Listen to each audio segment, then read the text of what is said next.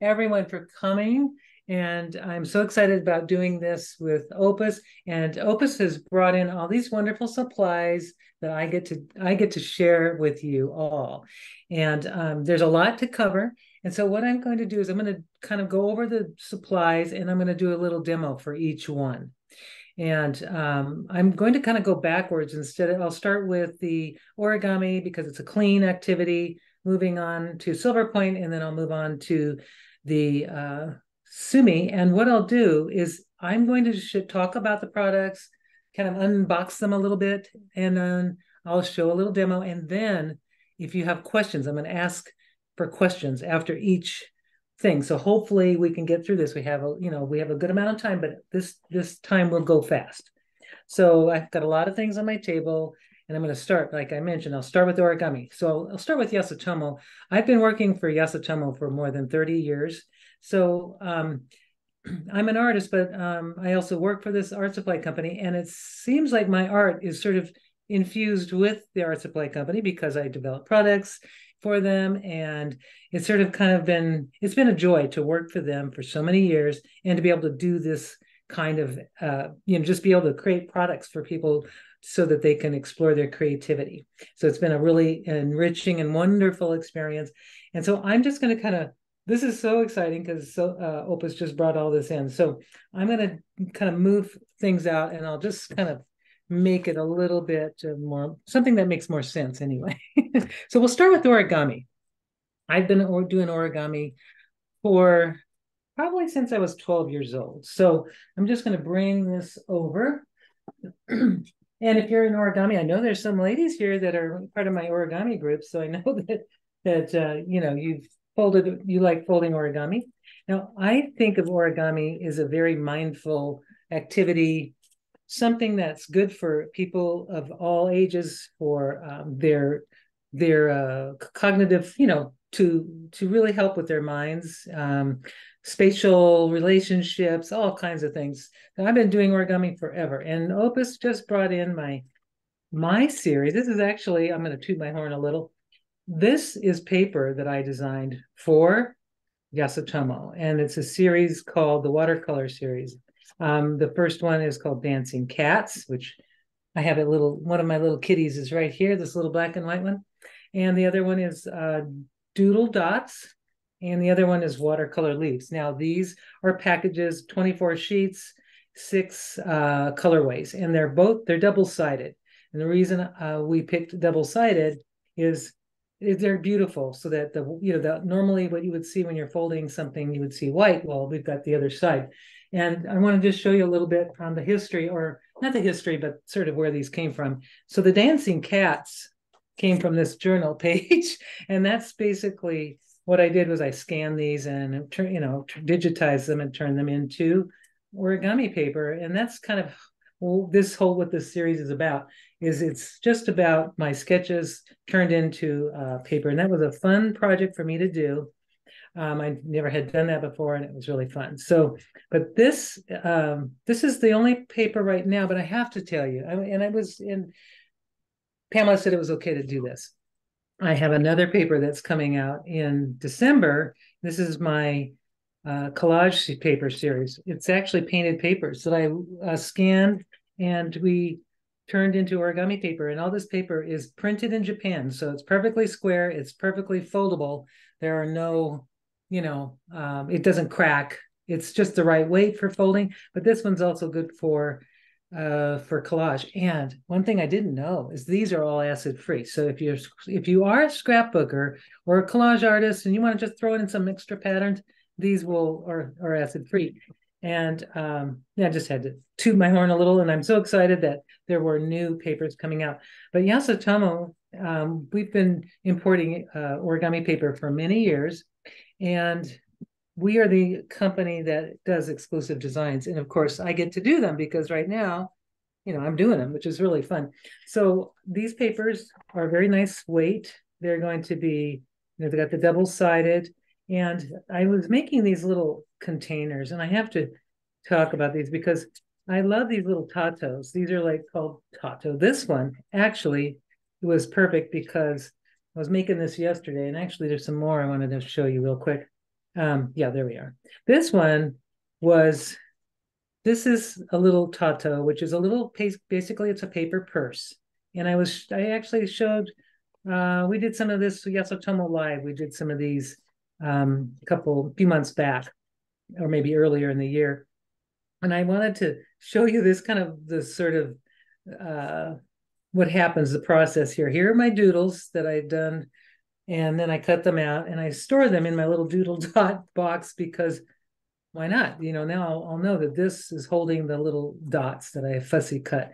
Um, but they also have another little way. I like to have origami as a kind of a final, like a container or a gift. You know, like in in Japan, the gift uh, packaging is is just as important as the gift. And and these I wanted to show you actually how to make one of these. If you're in the mood to make one of these, these are very handy for all kinds of things, for sewing, little threads, little small things. I'm not sure which one I'm going to show you. Oh, and this one I wanted to show you. And I'm going to jump all over the place. Um, one thing that uh, Opus brought in were these little shikishi boards, these little three inch adorable little shikishi boards. Well, they need to have a place to, you know, if you wanted to gift these, why not make a box for gifting? So anyway, if I want to, now I got to figure out how to put that back. There we are. Um, there we go. They do come back together if you want them to. there it goes. So this is one that has a three inch base so that it holds a three inch item. And then this one has more of a, uh, the other one has a two and three quarter inch base. And now I'm trying to remember how I folded them, but they are really fun to use, especially if you want to just do something with your shikishi, which I'm going to show you what I'm going to do with that. Um, maybe, yeah, uh, let me just do a quick, just for fun. Let's hope I remember it. Sometimes it's, you know, I'll just use this one. Okay, so now I won't go really slow, but some of you have done this before. Here's some boxes I wanted to show you the cats and the leaves. But this paper is just fantastic. And the paper that Yasutomo um, we have a couple of manufacturers that are really incredible and um, they make the best papers for folding. So, of course, all papers from Japan for folding are really great. So for this one, I don't know which one I'm going to do, but I'm going to I'm going to try. I'm going to fold this one this way with the pattern side down. And for me, origami can be very relaxing, but then it can also be kind of uh, you know it it takes a lot of concentration. That's the word I'm trying to come up with. Talking and doing origami is an interesting thing. I'm going to just create. I've just folded these uh, in diagonally, and I'm just going to create a little tick mark on all of these little, just a little mark. I'm not really trying to. Um, I don't want to fold it all the way across. I'm just doing this. I'm just making a little tick right there, just to mark my spot. And then what I'm going to do is take this, I hope I'm doing this right. I'm going to take this bottom edge right here, and I'm going to fold it up to that tick mark that I just made, like this, right there. And I'm just making sure that all the, this thing is lined up. And then I'm going to take this, I'm going to fold it down in half like this. And then I'm going to take that same piece and I'm going to fold it in half. So I've got one thing. I don't even know if I'm doing this right. I don't think I'm doing it right. You never know. It might be an interesting tato.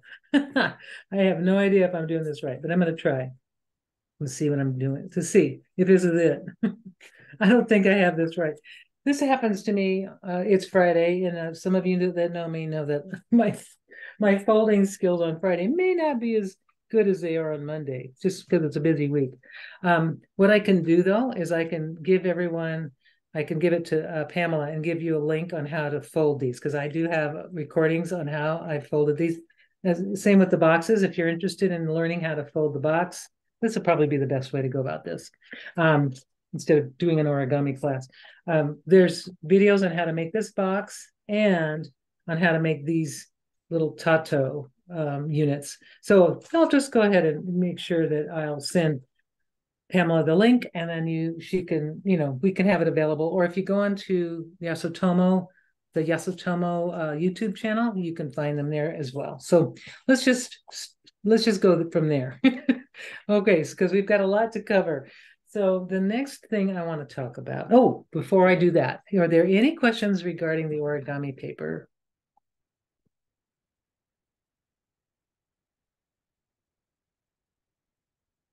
Is there, if, if there isn't, I'm going to move on.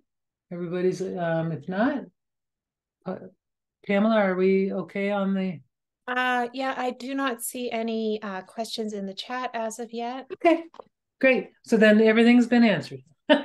so um, what we'll do is, you know, I mentioned the boxes and any, there's a lot of origami models on my channel, my YouTube channel, Karen Elaine's. There's also a lot on the uh, Yasutomo channel. So just go there and, and of course, any uh, YouTube has a, a, lot of wonderful uh, instruction and there's so many origami designers uh, as far as making models.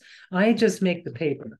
I just come up with paper. And Yasutomo has a great uh, array of papers, but these these are exclusive to Yasutomo only, and they're lots of fun. So, okay, so I'll move on to that uh, from that, and I'm going to talk about the silver point tool. Now, Yasutomo had a silver point artist um, really helped develop this because I had no idea about uh, silver point. Now, silver point yeah, they're amazing. They're like these tools. This is a really gorgeously crafted handle with a, a 99% silver tip on the ends. And it comes actually, there are two tip sizes. One is a two millimeter, and the other one, I think, I gotta make sure. Sometimes I forget. Um, anyway, this is what the package looks like. Yep, it's a two millimeter um, so when you're in the stores, you see this in your store. This is what it, looks like in the store. 99% silver. Um, and it these are fantastic. Now you'll wonder why, well, why would you use this for? Actually, historically, these were used by like uh, classical artists like Rembrandt and Durer. I don't know how to say Albrecht Durer. I have no idea if I'm pronouncing that right. Um, da Vinci. These were early drawing tools, and they're really fantastic. Now, um, what it does is when you're drawing, I mean, I'm do a demo. I'll do a demo. Um, you'll be drawing on a surface that Yasutomo has, or you can draw on a gesso gesso prepared surface. Um, if you have that, there's also um, silver point paper out in the market. But we've got this great, we've got mineral paper, and I'm going to kind of bring in mineral paper now because uh, mineral paper which is a great surface for these. And I'm going to just, I'm going to demo this. This is our mineral paper, JMP 100. This is a six by eight. It is made of calcium carbonate. It is a surface that uh, is impervious to wetness. You can, even though it's fairly thin, this is our uh, 100 pound or 150 GSM. It's, you know, kind of a, feels kind of like a, it's got a surface that some people say is like Yupo, but it is not Yupo. It's uh, calcium carbonate with a little bit of uh, PET um, recyclable plastic to kind of bond it. But mostly it's calcium carbonate, which is one of the most you know common elements in the world. Very renewable, very very plentiful. No no trees are harmed, and it's very uh, eco friendly to make this. And it's it's great surface for for drawing, painting or anything like that. Um, I use it for lots of things. Um, and I'm just bringing over this because some of these drawings here were done. Some of these I started with the the uh, silver point tool, and then I did some watercolor. And they take markers really well, like uh, any type of pigmented marker. It's just amazing. It doesn't it doesn't wrinkle. That's what's so cool about it. I'm bringing this piece out because I wanted to talk about the silver point. Now, silver point will not make marks on paper. So I've got a paper table here, paper covered table. It doesn't make marks on the table. It make it makes marks on this calcium carbonate surface, which is is uh, mineral paper or gesso, something like that. Um, clay, maybe some clay. I don't know exactly, but it has to be prepared with with something like that. But I love the mineral paper because you don't have to prepare it. It's there. It's a great service. Now, the silver is being deposited onto the onto the uh, paper. And what you're getting is you'll get as you do layers, you make it darker by just not pushing harder. You just kind of create deeper layers by making, you know, going over and over and over until you get to the depth you want. Now I'm going to show you a drawing I've been working on. The thing about silver point is silver point is something you do that requires a lot of patience because if you're going to draw something like here, I'm going to just draw a leaf real quick. Now, for me to make depth and interest in this leaf, I'm going to need to do some cross hatching. And if I'm going to shade it, I need to do some, you know, serious, I need to work hard, uh, hard because I can't just push down or I don't have different levels of softness like with a pencil, you would have HB to or H all the way to 10B and that gives you that really dark lay down of graphite. Um, the it doesn't smear. That's another thing, and you can kind of blend it with a with a stump, but it doesn't really smear like graphite does. So that's kind of great, especially if you're doing like if you want to use this as a drawing uh, tool for watercolor. Well, let me just show you one piece that I've been working on. And this has been taking a lot of time. it's you know a couple hours of work here. Um, but this little rose thing that I'm drawing, this drawing that I've been doing, um, you start with the drawing. So here's, I've got just the outline of the rose. And this is how I did the whole drawing with just this tool here. And I made, my first line is very light. You can see, I'm just gonna bring this up so you can see a little bit better. So it's just kind of a very kind of a light gray. And then you, as you keep working and making shading um, and going throughout, you'll get deeper, deeper tones. Now, the beauty about the silver is it will tarnish over time if you want it to.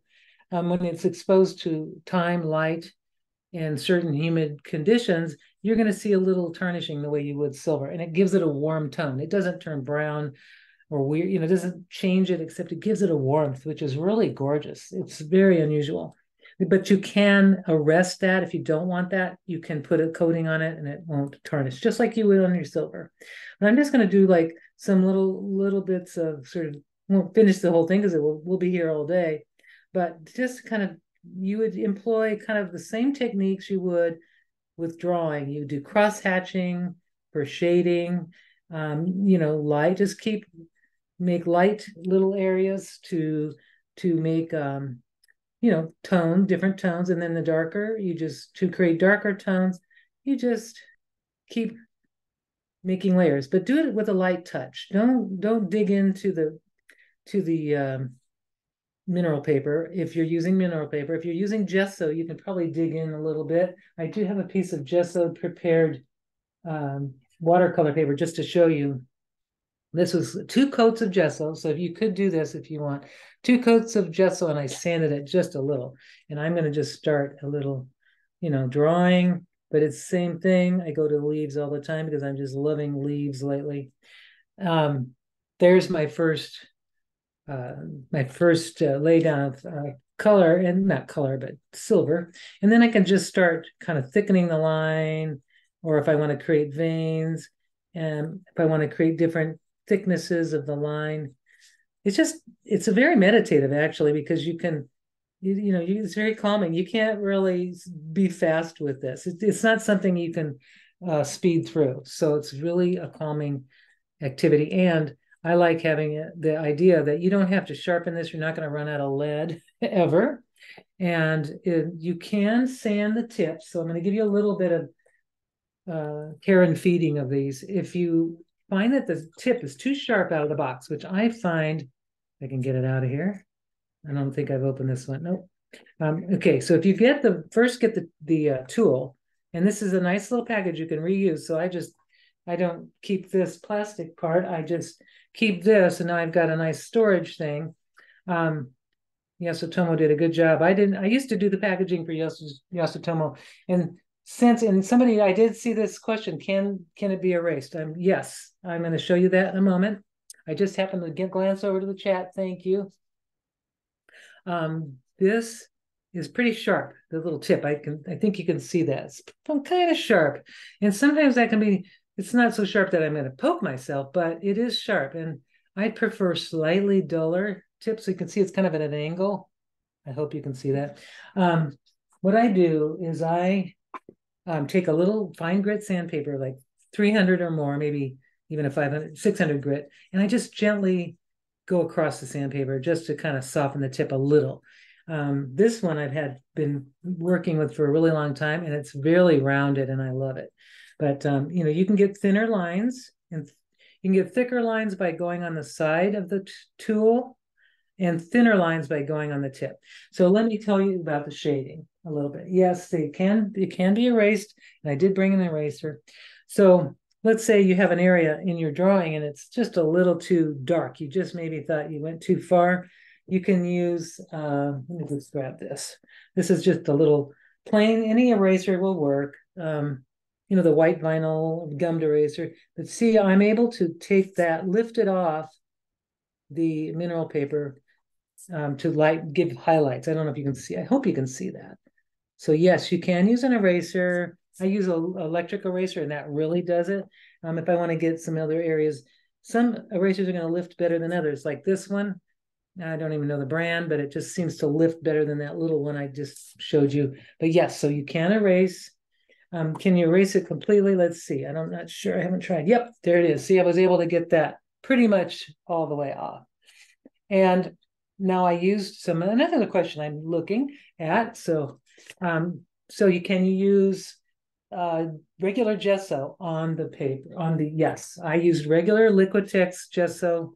I did one coat, let it dry for a little bit, and then I did another coat in the other direction.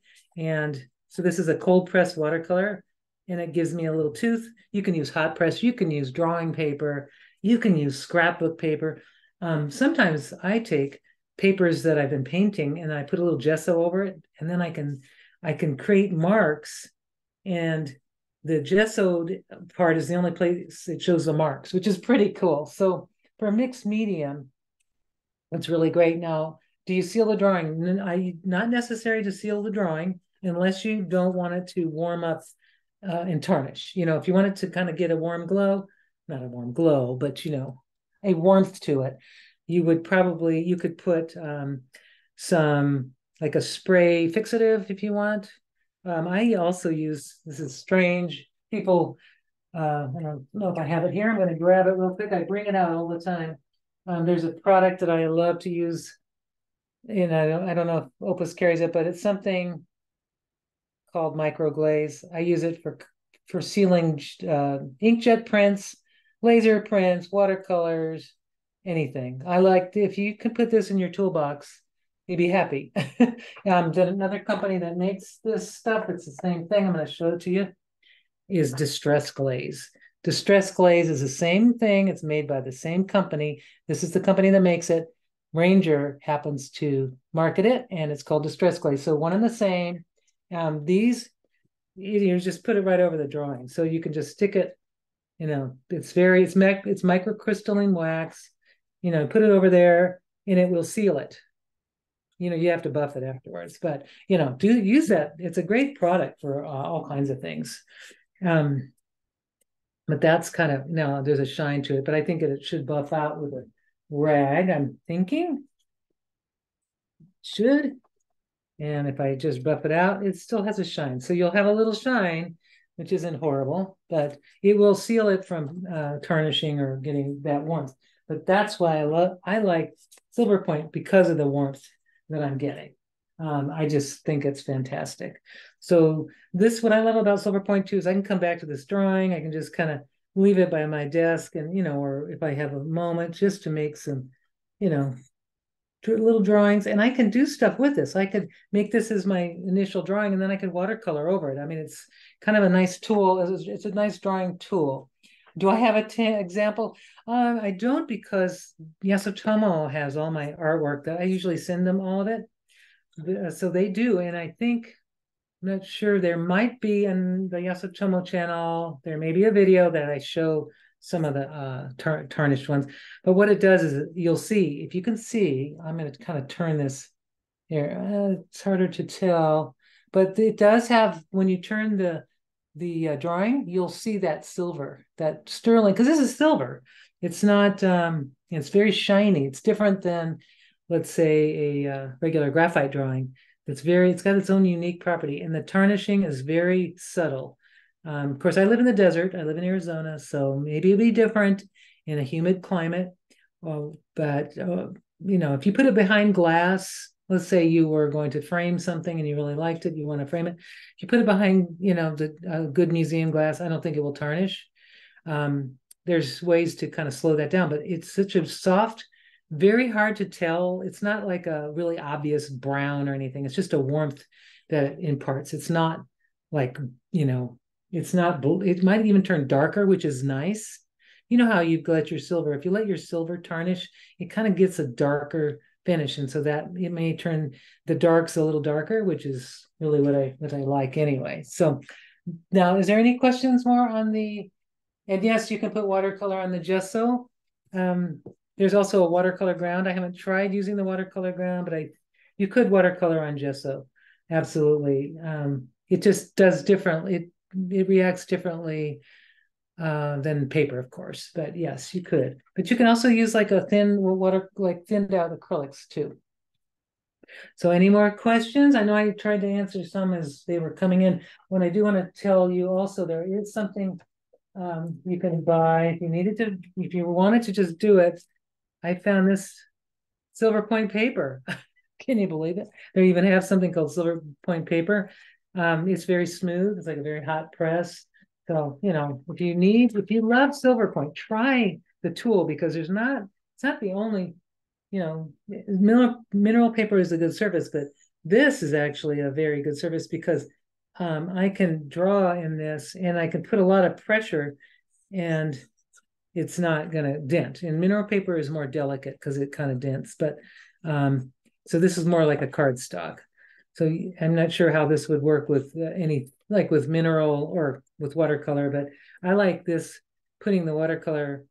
Uh, you could put the water, the gesso on and then watercolor over it. And if I had some watercolors, I could show you right now. I mean, I do have them, but they're not on my table. So any more questions about our silver point tool, two millimeter and one millimeter. And this is a little thin one, so it makes really thin lines, this little one millimeter. It's a little scratchier than the two. So if you were only to get one, I'm going to tell you right now, you'd get the two millimeter and they have refills. Oh, and I wanted to show you, which I didn't show you yet. This, these come, if you ever, ever run out of it, silver. I don't I don't think I will in my lifetime, but if you do, or for some reason you want to switch out the two the tip, because you might have a couple tips, one will be sharper than the other or whatever. You just need the one handle, and these things screw right into the handle, and you want to tighten them with your hand so they don't wobble around. But isn't that great? I just think these are fantastic, fantastic little tools. If there's any more questions, I'm happy to answer while I'm going on to the next. There's one question here. Um, do you have any suggestions for medi- other mediums you might use on the background of your drawing? So if you like, so other mediums, tinted gessos. Um, if you want to do a tinted gesso, you could do that. Um, I use just like the surfaces or mineral paper gesso prepared surfaces or silver point surfaces. But if you wanted to take some clear gesso, you know, um, there's gessos that are very clear. You could put that over a painting, let's say, or a, a mixed media piece. You could just paint the gesso over that and then let it dry and you can mineral you can silver point over that and you'll get a layer of of marks so i hope that is that kind of the i hope that's the i hope that helps answer that question Thank you. That's a great suggestion.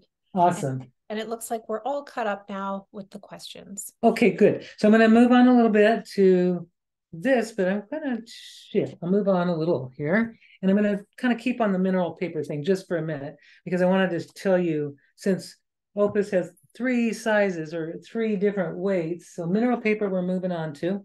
So we've got the thin one I showed you a little bit ago. This is this JMP 100, which is a small pad, 100 uh, pounds. Then there's a, a, larger pad, 9 by 12, and that's a 100 pound weight. And then we have this other size, which is 11 by 14. So you can, you've got all three sizes. The What I like about mineral paper, it's thin enough if you want to do folding. You can fold it because it's got a very you know, very nice, makes very nice folds.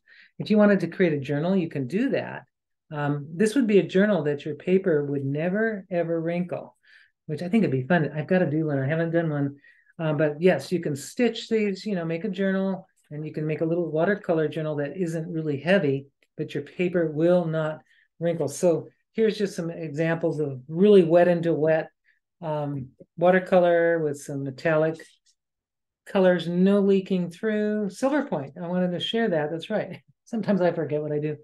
I did silver point after I did the watercolor. I did silver point afterwards because I had, you know, some area where the, and it looks like, and I'm going to show you right now. I'm going to just do a little more mark making, but it looks like even now once the watercolor's on there, it doesn't draw. If it only draws on the areas where the mineral paper is present. So like here, if I tried to draw on this, let me see if I can do this. Um, I may not get any marks because very light. I can get them. Um, if the watercolor is sort of thin, I can get some marks. But you want that watercolor. I mean, you want your surface to be that calcium carbonate, which is, I think, also that's what gesso is made out of. Calcium cal carbonate or marble dust. Um, it works. It's the same. So um, this is amazing. Yes. So you can do your drawings and do your all that stuff, and then you can watercolor over it. And yeah, and once you put something over it, unless it's gesso again, you won't be able to make marks. So I think that's kind of what I wanted to share about that. Um, this one was I drew first and then watercolored, and it just kind of made a lot. It sort of the line sort of disappeared, which I thought was cool because when I do watercolor, I don't really like my drawing to show and, it, and this is on mineral paper only or gessoed watercolor. But uh, look, and I was able to get this really nice little kind of very soft lines um, on that. So mineral paper is also good for sgraffito, like you can do lay colors down and put ink over it and then scratch into. You can use your tool also for that. If you have, you're a sgraffito person, of course I have to be careful here which one I'm going to use. I'm going to grab my one that's a little sharper. So Sgraffito, which is a kind of it's been a scratch art, whatever we want to call it. Um, this is this this uh, silver point tool, which I don't think it was intended for that, but boy, does it make a really nice Sgraffito tool. You just have to clean it off when you're going to do your drawing. But yeah, so the tool can be used for more than just drawing on the mineral paper. You could use it for this kind of thing, just for making marks in your um, in your paper. Here. I'm just going to, you can see, I'm able to scratch that wherever the, the ink was, I'm able to scratch that out with a crayon. This is actually a wax crayon underneath. There we go. Just a nice wax crayon under there. So this is, there we go. More uses now. I just discovered one today for my use for the mineral thing or for the, uh, um, oh gosh, the silver point tool. All right. So any, if there's no more questions, I'm going to move on to um, uh, to the the fun stuff. There's, of course, it's all fun, but I wanted to make sure I covered this. Uh, yes. Are, are, soft pastels harmonious when working on the mineral paper? Yes. Um, I like. I don't really like using oil pastels. Um, I'll tell you one little weird thing about mineral paper, and I and they never could tell me what it why. But if I were to use um, like an oil pastel, or something that has an oil or something oil. I haven't tried oil paint, but oil pastels definitely made the thin the mineral paper kind of buckled a little bit. I don't know why they wouldn't explain, but like our Niji artist crayons, which are wax based, they don't wrinkle the paper. So and it depends on the crayon, like if it has a little oil or petroleum. I think it might be the petroleum based products will make this buckle. And it's weird as can be, but that's what it does. But if you asked about pastels, oil pastels, no, but soft pastels are gorgeous. They blend gorgeous on this. I I don't think um, this is the packaging that I did for them. Um, this one had this one is a watercolor wash first, or I think it was a, acrylic ink wash, and then I graphite. This is graphite over it, and then this one was uh, I think watercolor with graphite. One was an inkjet print, which was it kind of was interesting, and the other one was acrylics, acrylic paints. So really, everything except oil-based stuff can are compatible with it, and it and it doesn't like um, kind of has a tooth, so it's the color sinks in just a little bit. unlike Yupo, which you know is beautiful, um, Duralar, the the polyester film is made, it's coated in a way to accept uh, watercolors and paints and stuff. This is just by nature. It's it's made to, to accept that. So there is that. So if any more questions, if there aren't any more, I'll go ahead and move on to the Sumi, which is the messy part of our demo. all right, we're all caught up with questions. Great. Well, we'll do Sumi and paper. So I'll start with the surface, the paper surface. And, and I'm so excited that you guys, that Yasu, that not Yasutani, um, that Hope has brought in these these surfaces for creating. One is the, I'll just go over these first. This is um, the Asagami, which is a high quality Japanese art paper. It's made for certificates, photocopies, watercolors, Gansai, you know, watercolors, traditional watercolors. And it's got this interesting uh, kind of crispy texture. You can, I don't know if you hear that on on your end, but um, it's see-through. You can see that it can be tra it's a traceable, so it's pretty transparent. And I love using this. I actually have to cut this down to put in my printer because it's nine and a half by 10 and three quarters inches. And if centimeters, I don't know, but um, I cut it down to my inkjet or my printer. I have a laser printer and an inkjet. I've used it also on that. Um, it prints fantastic. So you can make prints. Now, this paper, and I'm just going to kind of do a quick thing. I'm going to bring out something else that uh, Yasutomo has, and I'm going to bring it out at the same time because I might as well use it.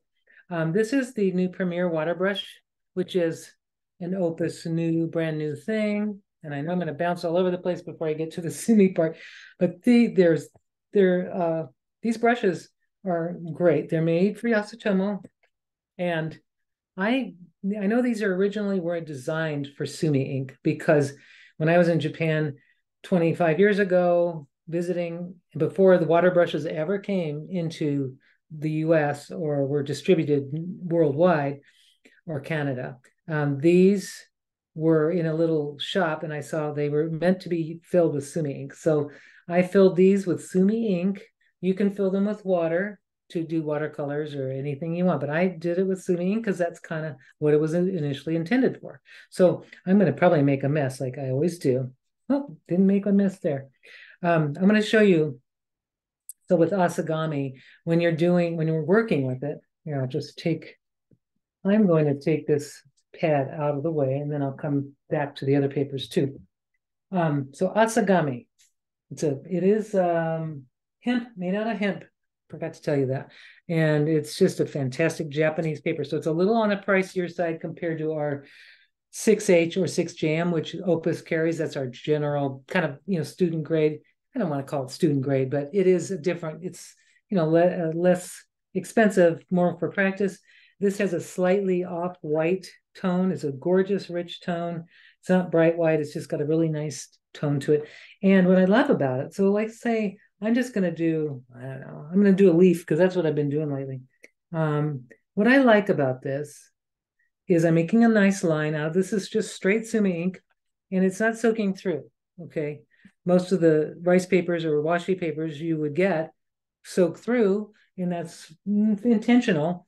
But this one is a little bit different. So you can go a little slower in your strokes and more intentional. You can take your time and um, it's kind of just like drawing paper really or you know watercolor paper. It has this really nice feel to it that gives you here we go making a little thing here. Um, it gives you this nice just nice drawing. Now if you want to thin it out let's say you want to add some water. Let's see i should have brought okay i do have a water thingy. I'm just going to throw pour a little water in there and I'm going to thin out my ink just to give it a little, there we go. I'm just making a thin gray out of that. I'm going to push a little of this ink through. This is great. If you want if you're not, don't really like having ink all over the place and you just want to have some ink handy, put it in your water brush. It's going to really help. I'm going to grab a brush that, I'm just going to grab this brush I happen to have here just because I need a brush, a regular brush. Um, uh, bamboo brush. and I'm going to make some a thin wash. Now, here's the difference. And you'll see when I do this other paper, uh, what, what you'll see what happens. So I want to make a little wash of color here or gray because it's just gray. And I'm just going to kind of make a, you can see I'm just dragging it across. I've made a nice thin gray wash. And what's happening, it's not soaking in, it's kind of floating on top, which is really, really nice. I'm getting this beautiful tone and it's, you will, you'll see when I get that in, oh yes. Okay, so I'm just gonna make a couple little marks just because I want that gray kind of showing that beautiful warm tone. Now this is going to wrinkle, and that's normal that it wrinkles.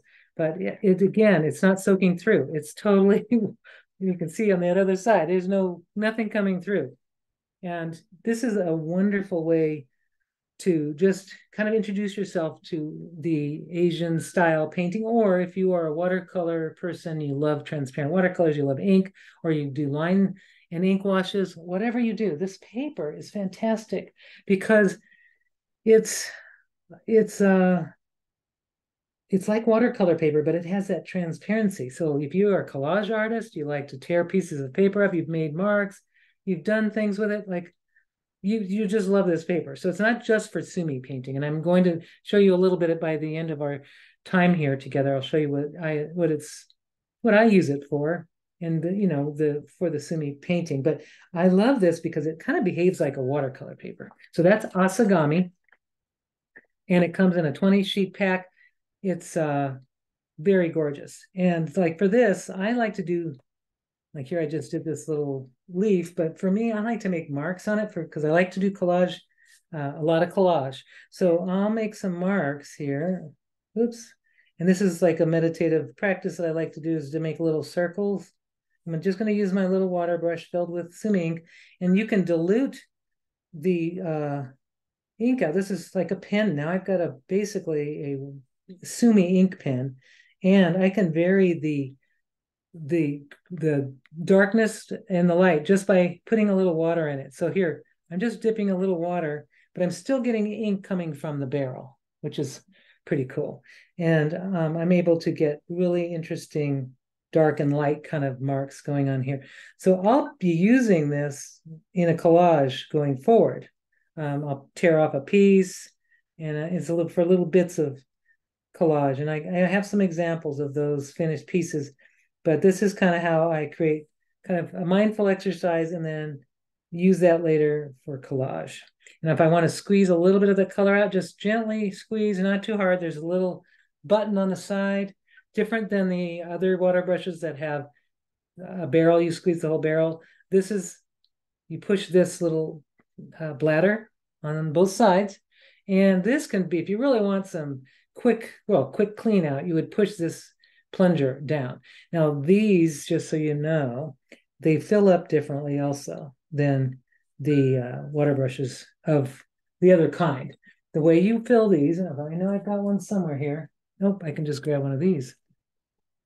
Um, if you want to fill one, these are great little usable, reusable containers too, by the way. So let's say you've got a whole bunch of pens you want to carry. Um, these are fantastic. They actually have different lengths. You can kind of, it sort of, kind of, you know, has these little sort of notches here. So if you want to carry a brush or a bunch of brushes, you've got, you know, you can. You can carry maybe three water brushes in this, or you could, you know, carry I'm not sure we can carry one of these, but you could try. Yeah, you could carry one of these. So you can take um, you can take your brushes and travel with them and protects your tips. So this we picked this Yasutomo uh, together. We picked this because of that uh, portability and reusability. So you're not throwing away a, package. You can leave this to hang in your studio um, leave this little piece up here. It's all one molded piece, so you really can't cut that off. But you can hang, you know, use it, put something on it um, to hang it. But really, you've got a very versatile package. But don't throw those away. Um, they're very handy.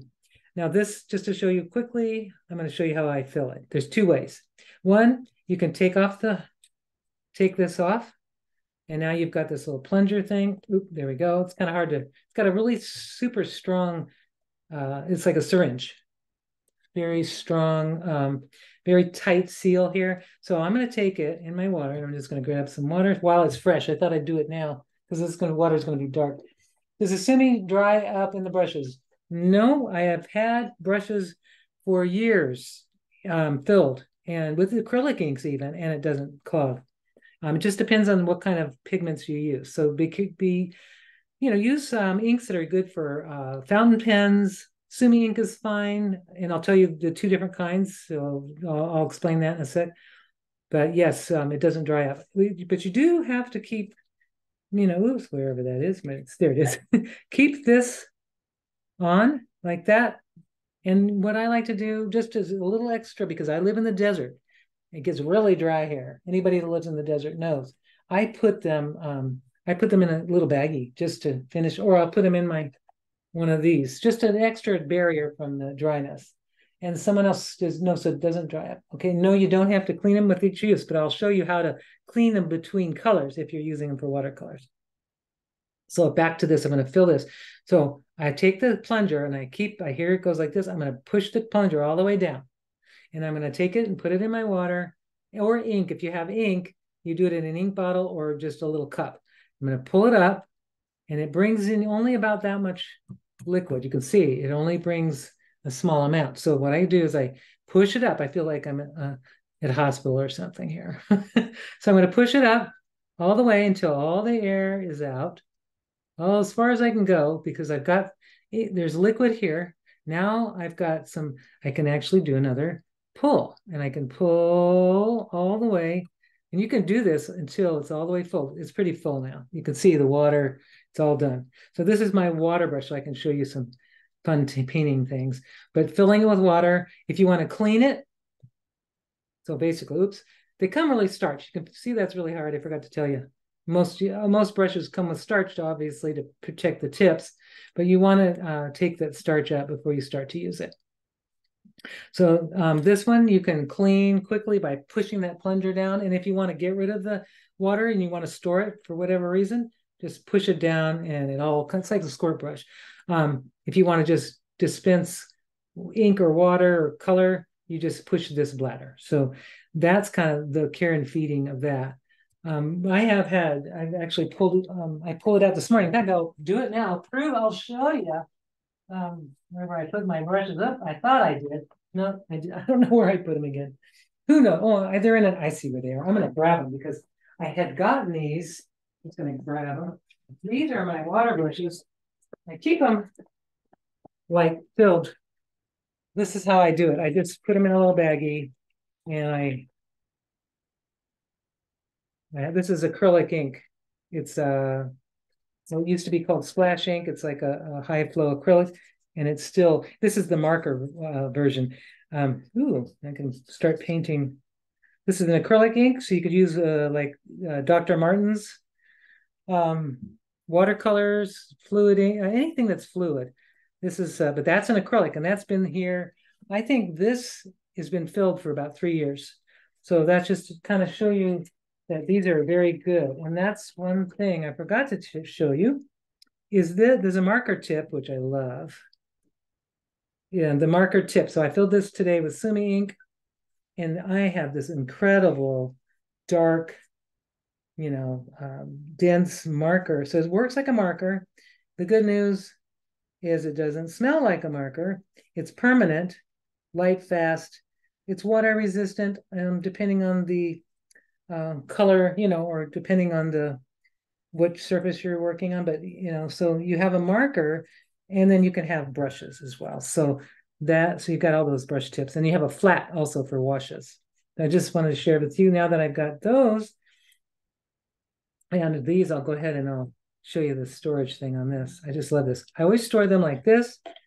And then because the plungers are out, you see the plungers make them longer now, but at least I can store them um, without you know, I can kind of keep them at the length that they need to be. And then the more ink is used, the shorter they get. But um, that's one way you can store them to keep them, you know, if you're traveling, you might even want to be really, if you really want to be careful, because if you're in a flight, you never know. You can even just tape the sides, tape around here, and you're pretty sealed. That's that one. Okay, so let's go. So we've got this Asagami. So that's we we talked about Asagami. Um, it's a very beautiful paper. I'm going to show you a couple of examples. Oh, here we go. A um, few examples of papers that I've done with Asagami. Like this is a printed paper. It's a collage that I had scanned and then I printed, and it just prints out gorgeous. So now I've got a collage paper that I can tear. Um, it's going to make beautiful. Let me show you what I mean. So I've got this beautiful paper that has little threads, little nice little threads that I can just uh, way different than copy paper. It's translucent, so whatever's underneath is going to show, especially if I use matte medium. So that's really great. So Asagami is great for that. This is a piece of Asagami that I gel printed, and it's also really you know, so you can gel print on it if you're a gel printer. This is some Asagami that I um, just made marks, diluted marks, and I just did this over and over. I think I was a Yasutomo Live, I think. Didn't soak through, and I will be using this as a collage paper. I'll probably scan it first and then use it, but um, this is just with different shades of from darkest black to the gray, light grays with a brush. Very simple. Um, here's another one. Well, this is the other paper, and I'll show you that. The Torinoko. Now let me explain Torinoko, which is the next paper I wanted to show you. That's this one. It looks it looks similar to Asagami, but it's more opaque. It's a little thicker. I'm just going to bring this out. It's a little thicker. Feels not as crispy. It's got a rough side and a very smooth side, and you would want to paint on the smooth side, by the way. Um, so I'm going to just do another little thing here, um, just to show you different things you can do. Um, so here, the same thing with this one, well, let's see, I'm going to grab this, my brush. I'm going to take this brush out because I like using these. Um, so let's say you like to do sumi painting, but you don't like this, the absorbent paper. This is a beautiful paper for that. So same thing, I'm just going to do like, I don't know. I'm just going to make up stuff just because I am going to make some little drawings, just sort of mm,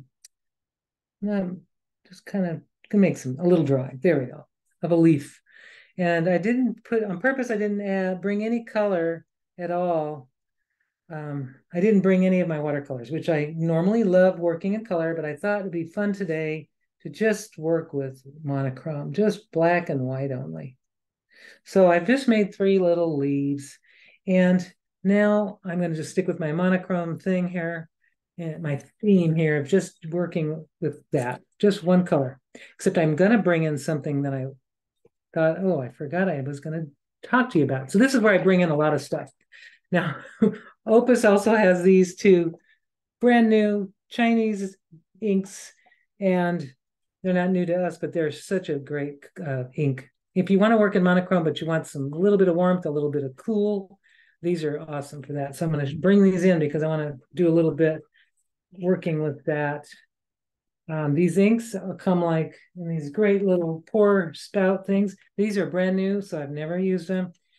Um, so you'll see what you kind of have to do when you just buy them. What you need to do, because these are both have a little ceramic ball inside. They has the, the pigments need to be mixed up because this is a Chinese, really dense, finely ground ink, just like the Japanese sumi ink. It's just Chinese ink, but it's still the same. excuse me, uh, you just need to shake it up and you have to shake until you hear the ball moving. So get some exercise. And then when you start hearing that ball, which I do hear, now you can pour the ink. So I'm going to take a, a little dish and I'm going to pour it out. And I love this little spout. And I don't like messy. I'm kind of a weird person. I don't like stuff on my hands. Anyway, this is very nice because I'm able to get the uh, I'm going to pour a little bit more. I'm able to get a nice clean pour, and then I can just close the thing up, and I'm good to go. I'm not going to have ink all over my table. There we are. So this ink, and I'm going to show you while I'm, going to get the other paper out just to show you a very dramatic difference between the papers. This is the uh, the Gassen paper. That's another paper from Japan that we are uh, that Opus has introduced. It feels very much like the Torinoko but it's going to be way different. So it feels the same. You can barely tell when you're just holding them in your hand. This is Torinoko. This is Gassen. They're similar in weight. I think Torinoko is a little bit lighter. Gassen is just a little heavier. Very similar. But I'm going to show you. This is Gassen now. This is Torinoko, and I'm going to set this aside for a second, and I'm going to repeat kind of what I did, um, except I'm going to use I'm going to use this gold, uh, Chinese gold ink. I'm going to show you how fun this is. So I'm going to kind of do the same thing. I'm just going to do like a little, oh, now this one, I have to go quickly because the when I hesitate, the uh, ink is going to go in, sink inside, and I'm going to show you the difference. See how it soaked through? Um, did not soak through here. And I took my time on the drawing on this. This one I had to kind of move. So you have to, it's just a different mindset when you're doing this. You got to move quickly when you're doing this because if you don't move quickly, I'll show you what happens. You'll get, there we go, I got some fun little design going on here. You'll get spread. So I'm going to show you that what I mean. If I hesitate, I'm going to just push my, just hold it down. And the more I hold it down, I'll just get a big dot, which is kind of nice, making marks here. Um, if I do that on this paper, it's not going to move. It just floats right on top. It won't, it doesn't spread at all. So they're just, they're both very different in the way that you'll work with this. And you'll see what I mean as I kind of move towards. So we've got Torinoko, and I'm going to go ahead and just, now I've got my brush filled with, let's say, I'm going to just kind of do a dark, kind of a tone of color here, just to kind of show you this just floats on top. If I put a little black in here, it's just, whoa, little spreads, kind of like watercolor on watercolor paper, right? On sized paper. See how it's spread? And I'm getting this sort of spread thing happening. Now I'm gonna take a that'll take a while to dry, but I've got this kind of great graduated thing. And if I wanted to, very similar to watercolor, I could dab that off and lighten it a little bit because I did get a little heavy on it. So you've got control the way you would with a sized paper, like a watercolor paper, a little more control. Now, here's the beauty of the Gassen paper. More traditional for sumi painting um, because it has this very beautiful, uh, it's um, it soaks in and there's a reason why it's good. It shows every brush stroke you make. So if I wanted to make a, uh, a wash, I better just kind of make, see how it just soaked it all in and it went through? That's good. This is where what's beautiful about this paper, this um, I'll put a little gold in that. Just want to show you what I would do here. This one, I would just kind of drag it across and I'll get a graduated line. This is just all kind of a play here. here, I just dipped it in. There we go. Just to kind of change it up a little bit. Normally, I wouldn't have done the outline with this, but I just wanted to try something new. Um, here, I will show you that let's say you do a wash of color, or it could be watercolor too. This doesn't have to be um, it doesn't have to be black. Could be, you know, your watercolors. I'm just going to make some marks on this here. And that's what I like about this. You can make just do this, make marks and make collage papers. If you don't want to paint paintings, um, you can. And you could be more traditional, uh, having a traditional approach towards these supplies, or you could go like the way I do. I just kind of experiment and try different things. Um, so this one, I'm going to put some of this gold. I'm just going to show you when you put it on, it actually will, uh, the gold will pop, will kind of rise. I'm just going to let that wait for it. It's got, it's going to take a while. It has to dry first. So when it dries, you might see some of that happening. See the gold kind of popping through. Um, these will in a moment once once that puddle goes away, but so they're these two different papers, completely type different types of paper. Three different. So we Torinoko does this beautiful watercolor wash, very thin lines. You can control, a lot more control. And this is a lot more spontaneous. And the paper sees every brushstroke. That and this one you can kind of float color on. This one you have to just one time and that's it. So I'm going to talk about, put these down. They're not the most pretty things in the world, but they just wanted to show you.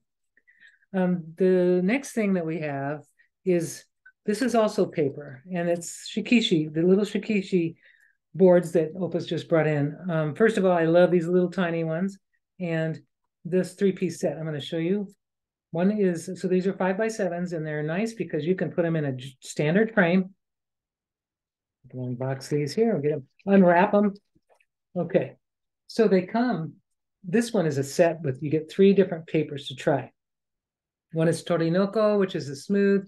There's a Gassen and a Hosho. And Gassen being the smooth, Hosho being the, the um, texture, slight texture to it. So you get to try different, three different uh, ways. Now, it can be intimidating because it's all framed. It's like a framed thing. Like, oh no, what do I do if I make I mess it up once? It's going to be terrible. Oh, well, no worries because I want to show you. You know, these you can do all kinds of things with these. Not only can you do the what's traditionally used, what these are traditionally used for, which um, actually, um, oh, there they are, right in front of me. So traditionally, they're used for autographs in Japan, autographs, bamboo or painting, you know, sumi paintings. This one is uh, the smooth one. I just did this a couple weeks ago. Here's on the Torinoko, which it's you can see it doesn't soak in the way the the Gassen and the Hosho do. So you're going to have a different feel to it. This is with watercolor, and this is how I prefer to paint. This is using uh, Gansai watercolors, which are Japanese watercolors. You can use Western watercolors, European watercolors. Um, I love doing stuff like that on it. This is using the gold. This is using the gold Chinese, Chinese ink. And what it did is it soaked in and made this nice little thing of gold. And I'm going to show you how I do that. Um, the other one is Etegami, which I love.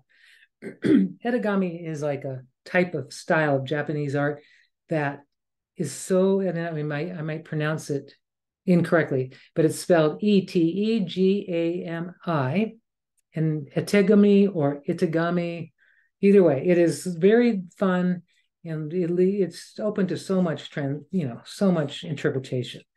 So basically, you're doing an ink drawing very spontaneous and very loose. And you do lettering the same way, and you can use watercolor to fill in or not. Now, here's what I want to talk about about the shikishi.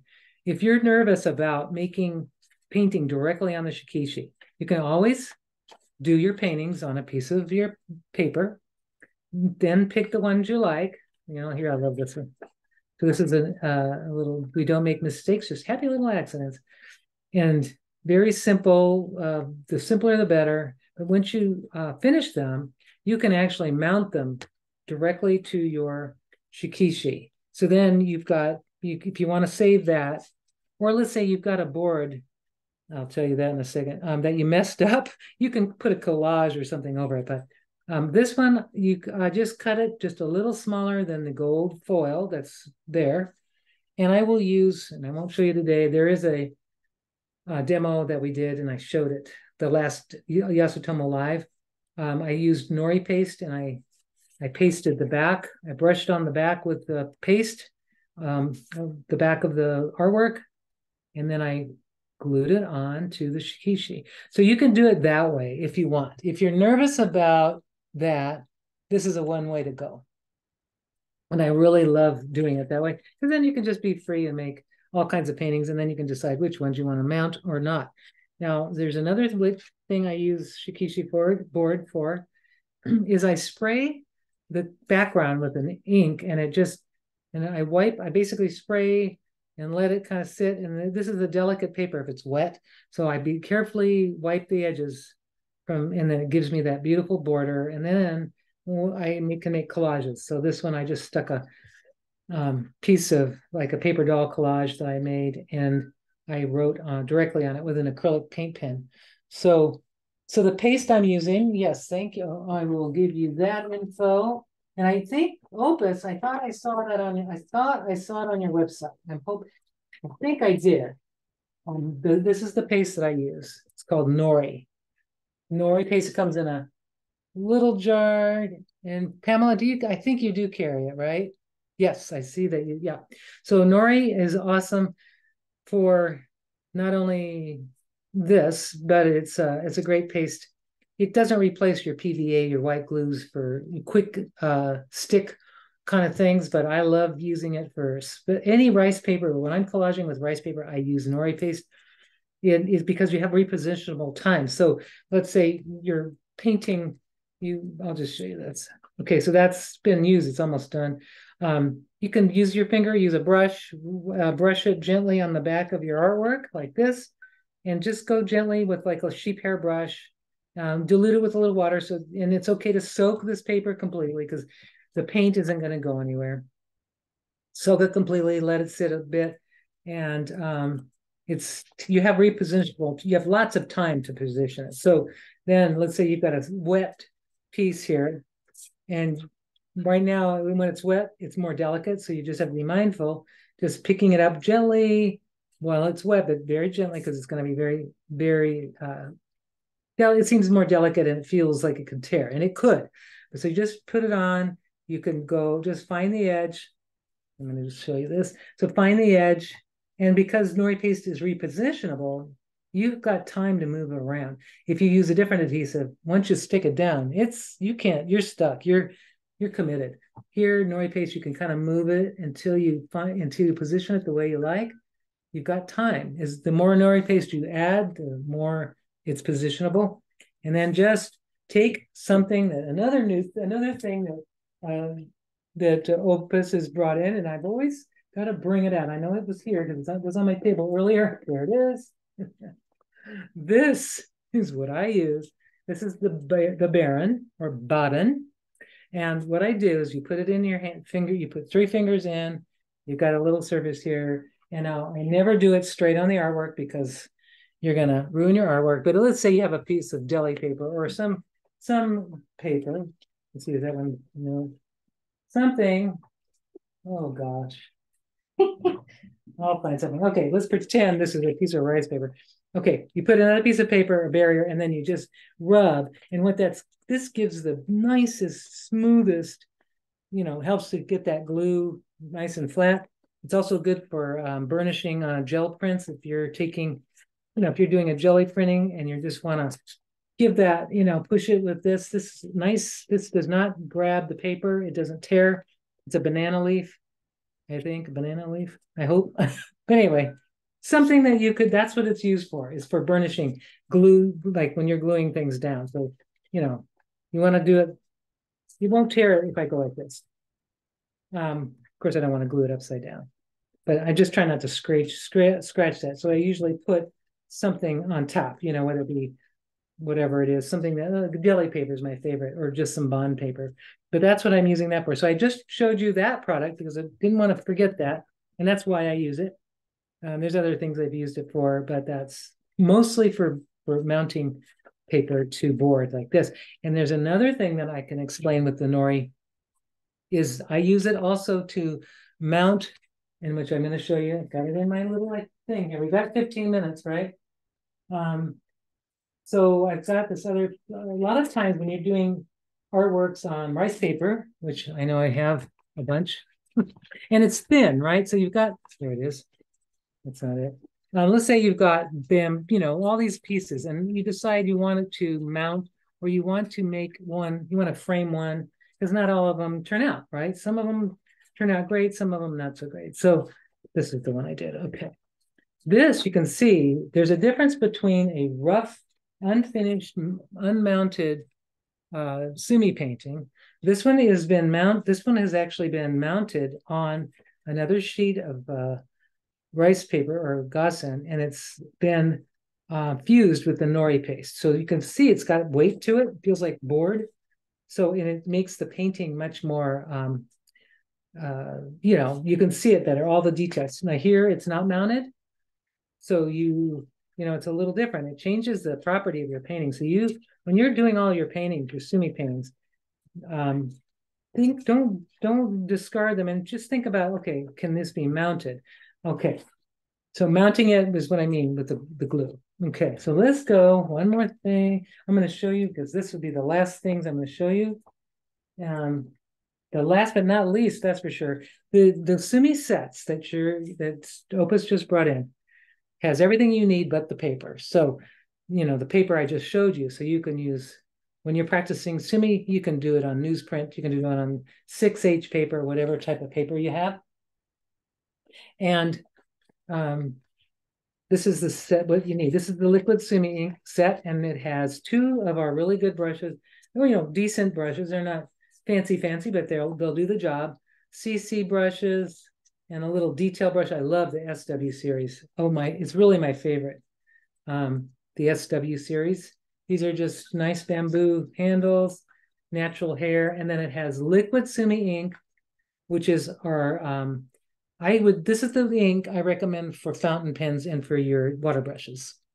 Um, there's two different inks that Yasutomo carries. There's this one, which is also a new, um, it's also an Opus KF series and the KY series. This is a green bottle. It's still black ink.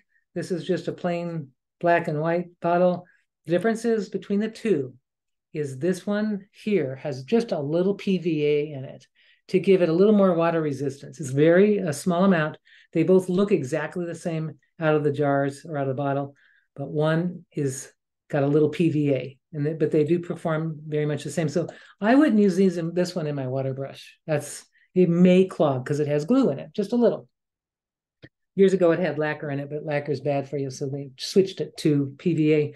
So this one is the ink that you would use in this, and um, and just well, I can do it with any ink. I'm going to not open this bottle because I just don't want to open it. But it comes with, if you go to the bottom of it, which it doesn't, it has a surprise. it has instructions on how to paint a poppy. And I did this, I don't know, a couple years ago, maybe a year ago or so. But um, you scan the QR code and you'll get a whole lesson on how to paint a poppy. So that's kind of fun. And to tell you the truth, I forgot how to paint it, so I won't paint, demo it today. but I will demo the bamboo because I remember that. Um, but it comes with a ceramic dish to pour your ink in, which is what I have here. The two brushes. All you need is paper, and just practice with what on with whatever you have. Um, that's this set, and then the other set is the um, same brushes you'll get, but you're going to be grinding your own ink, and that in itself is a wonderful experience. If you have the time and you want to do it, grinding your own ink is really nice. You you grind the ink, you put the water in, and it's got this very meditative experience. And it, it's wonderful. You can control the amount of density of the ink, and the ink sticks store and lasts forever. You get the same brushes. And on the inside, you get a, a lesson on how to uh, do bamboo. And I'm going to do bamboo real quick for you. And I'm going to explain something before I as I, you know, just so if you're doing learning bamboo for the first time, I think you, you know, best thing to do is to make do practice strokes. So practice strokes. Um, I usually start with the bit, the the stalk or the branch or the stem. I start with creating. Uh, just I just practice that motion, and I do it several times so that I get the feel for that. And then I practice the after that. Oops, there it is. I practice the branches so I can get a feel for how that brush works, how I can make little branches. And then I practice a whole sheet of leaves.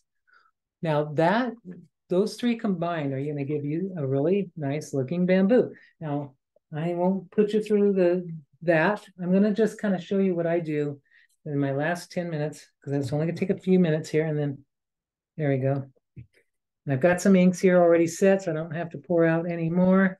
And I always use a, a matte and here I wanted to show you this morning. This is some uh, stuff I've made with the gold and silver mark making ink, mark making with that gold and silver ink with the different papers. Just wanted to show you those before I went on to the bamboo. But here I've got my little thing here. I'm, I've cut some paper down because I don't want to use a full sheet. My table isn't big enough really to do a full sheet. This is, I believe, the Gassen. I hope it's, I hope it is. We'll find out um, I'll know right away if it's the glass. And, and I do have my favorite brushes for doing certain things. Um, if you're into making, if you're doing, I'm kind of a, not a Sumi master by any means. I have not studied Sumi ink as long as so many beautiful, you know, Sumi masters have. I've been around Sumi ink for 30 years, but I have you know, very minimal skills there. So learning, oh, the mat is made of felt and you can get this at dollar Japanese dollar stores. Um, it's just a mat for painting. You can use, uh, I think, Daiso, you know, very uh, just painting mats for um, doing sumi, and it's black because of the black ink, and you usually go off the page. Uh, you can also get it at a craft store as well, just plain black mat. Uh, co- uh, felt cotton. I, I think it might be cotton. It might be polyester, but it's just a felt material. So it's nice because it kind of gives you a little surface to paint on. So I use my, I've got my own little th- three brushes that I seem, seem to use. This brush is in the two kits. This is a fantastic brush for making fine lines. So that's for my branches. I use one for my stalk. So I'm going to just kind of do this quickly because I don't want to, uh, I only have a few minutes. But uh, I'm going to dip my brush. And this is not the way a lot of masters do it. We have a lot better uh, way, but I'm going to just show you how I'm doing this. I'm going to fill my brush as much as I can with the light gray, with the light color. It's diluted sumi ink, mostly water. You can see I've got it filled. And then I'm going to tip it in my black, which has that gold in it too. But I just tipped it right in there. And I'm going to just create, uh, starting with the bottom, going up, I'm going to create a stem. And, and I'm going to start by going and pausing.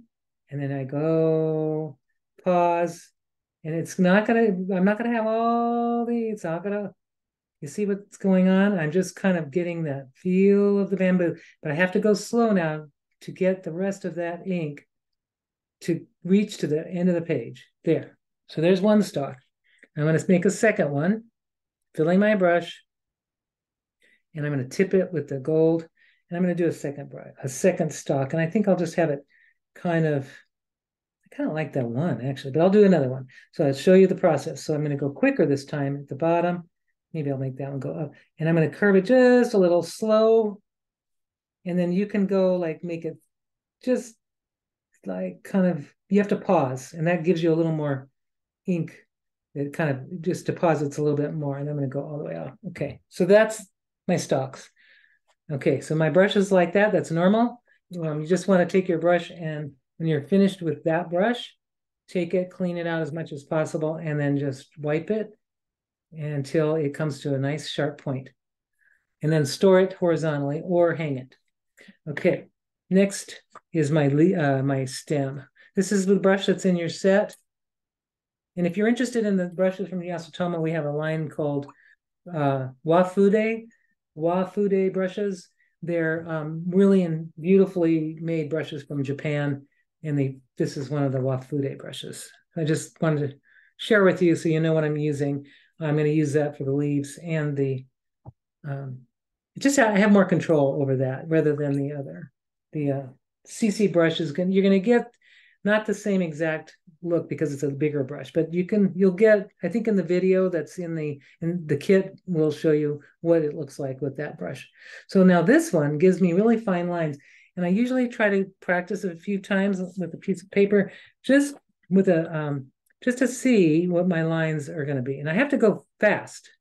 Okay, so you just you want to go quickly with these because if you put if you hesitate, you're going to get, which is kind of nice. You can get like little nodules, which is great for your branches if you hesitate. So I'm going to just go ahead and I'm going to make my little uh, little joints that go in between and I'm going going fast, just kind of like this. And I'm holding my brush kind of up as much upright as I can. And I'm going to go and I'm going to make little branches. Okay, and I'm going to make maybe another one like that. Okay, and then I'm going to alternate and go here and here, and then alternate here, here, and here and maybe another one. Because every time I make a branch, I get to make a leaf. Every time I make one of these little things. So um, yes, you'd want something like soft because it helps if you're especially as your paper, you know, as the paint is absorbing underneath. So yes, and it feels really good on your hand. So I've kind of only uh, let's see. I'm gonna go ahead and do this. So now I'm gonna take my my branch and just now I am a right-handed person and I tend to do, I tend to just want to rotate my paper because sometimes my hand, if I'm trying, um, it's just hard for me to, to do it this way. So I have, I like to rotate my paper. I know that's not the purest way to do it, but you know what works for me. and I realized I just did the branch on the same side. I shouldn't have done that. I should have brought it over here. So, oh well, that's what happens when I'm talking, when I'm working. So the basically, I'm just making branches here and that's it. All right, now I'm done with the branches. They're not the best or the stems. Now I'm going to make my leaves. Leaves have a landing and taking off motion when you're doing. So let's say you're doing leaves and you want to just, you can do it in any, you can do it all solid black or you can do it in grays, whatever you want. Leaves are take off and land, land okay? So, and you need to have your brush with plenty of water because if you don't, once you lose the water, you it doesn't work. So just so you can see, I'm kind of making this land takeoff motion and my brush kind of looks like that. So you practice that a few times and get the feel. Otherwise your leaves are going to look a little wonky. so I'm going to go ahead and fill my brush with sort of a light, kind of a, mm, mix it up a little bit like that. And I'm just going to take from my little place here and I'm just going to do a landing and take it off. Here, here, oops, here. And you want your motion to be free, you know, like your shoulder needs to be hinged or unhinged. Um, and you want your you can make your bamboo going, you can make the leaves going in all kinds of directions if you want. Um, but there we go, something like that. Now, usually I haven't done it in a month, so it's I'm not as, you know, it's nice to be kind of practiced, you know, when you've done this and you're holding your brush not too tight, not too close to the end. I tend to drop it down, but I, need to have it up here. And I'll just do this. Yeah, and there, and see my brush, my um, my leaves are taking a different shape because I'm changing the way I'm moving it. So practice, practice, practice. Muscle memory will help you with that. I'm just to make these lighter so that they recede. So if you use a light gray, you're to get a lighter tone and that's going to make your, your leaves look farther away than the other ones. Okay, so there, I think this needs a little more, and I'm just gonna, I don't, oh, I know how I'll do this. I'll just do some leaves, kind of, mean, it won't, I'll just leave it alone. Now, I started my, but that's it, on the bamboo. Okay, so the small branches, oh, the way, the way I said, the reason I said that, because I believe in bamboo, um, I wanted it to be every other going on the opposite side of the stalk of the trunk or the stalk. So here I have one branch, one one every other one. See, I, I alternate. Here I went both sides. And I actually, someone told me, and it may be not even right. I don't know. I haven't put a little, it might not even be true, but somebody said that, oh, that's bad, but it maybe it isn't. I don't know. Um, so what will happen was what will happen is this will dry. You'll see the little stems, the heart of the leaf here. But that's it on that one. And then I, if I like this, I'll do several in a session, a whole bunch. And then I may only like two out of all the, you know, I've done. And if I like it, I'll do a little seal somewhere, you know, a little with a little red ink somewhere like here. If I like them, I usually do a little, uh, that finishes it off. And you know, if you want to, if you like them, you just put your own chop. If you want to take like this one is one I carved out of an eraser, and this is a Japanese chop I got in Japan. But here you can see how the um, subtlety of the, you can see that looks like I drew those lines, but I actually just the light color um, going over it, it just looks like a little line. So that, do you have any questions on that? And then I'm, I'm good. Beautiful, Karen. We're good. How about Pamela? yeah, really beautiful. Really nice to watch you use the Sumi inks. I think we did it, right? We did it an hour. We're, we've kind of done it an hour and a half, right? Yeah, yeah. You know, we we did it. You did it. Uh- Everyone. So, oh, this has been one of the demos. Oh, that's so sweet. Daryl said, "Oh, that's very nice. Thank you." I do have one question for I you. I love that um, everyone is writing notes Thank you. Pat's here. Oh, people that I know are here. I can't see you because I only see my uh I only see my my spotlighted video, but um I see there are people here like Pat and Elke and seeing anybody else. Can we put it on? Can we stop the recording and then put it on um, gallery for a minute? Is it possible? Um, yeah, I can I can stop the Well, you know what? I could. I now I think I could hear you. I can yeah, I can stop it.